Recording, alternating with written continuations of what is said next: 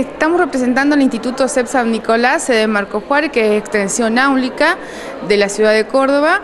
Eh, la Escuela de Enfermería está actualmente en el Centro Educativo San Martín, en la calle Bolivia y Mendoza. Es una carrera de tres años de duración, con amplia salida laboral con matrícula a nivel provincial y nacional, donde el enfermero sale con una capacitación para la atención eh, del paciente, puede ser en una institución, en, una, en un geriátrico, en una enfermería domiciliaria, y bueno, y, allí puede hacer la atención tanto también en periféricos como la atención primaria y en cualquier institución pública o, privada de salud. ¿Cuáles son los requisitos para estudiar enfermería?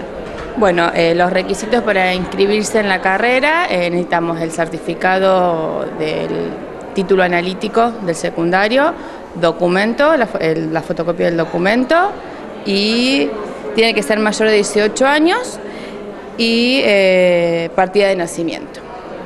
¿Por qué elegiste enfermería? Me apasiona la carrera. Eh, es una carrera de que yo mucho tiempo trabajé en la parte de salud como administrativa y bueno, llegó un momento que me replanteé tener una carrera y bueno, y me orienté por la carrera de enfermería porque me gusta muchísimo. ¿Qué le diría a los chicos que andan por acá hoy?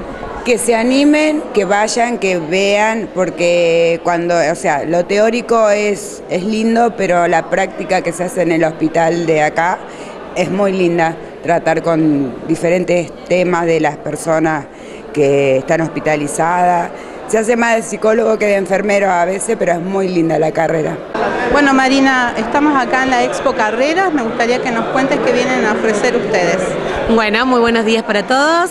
Mi nombre es Marina Orellano, soy coordinadora de carrera del profesorado de Educación Física La Santísima Trinidad de la ciudad de Villa María y hoy nuestras ofertas educativas es para la carrera para profesor, profesor en Educación Física y una tecnicatura en musculación y entrenamiento personalizado, que es una carrera más corta que habilita al profesional al ámbito no escolar. ¿Cuáles serían los requisitos para que los chicos eh, elijan o, busquen esta, carrera? Bueno, nosotros tenemos nuestros contactos, las redes sociales, que ellos nos pueden escribir, eh, ya sea WhatsApp, correo electrónico, nuestra página institucional, para que el estudiante tenemos, eh, pueda hacer una, un encuentro más personalizado y podemos dialogar en cuanto a los requisitos que se necesitan hoy para poder inscribirse en nuestras carreras.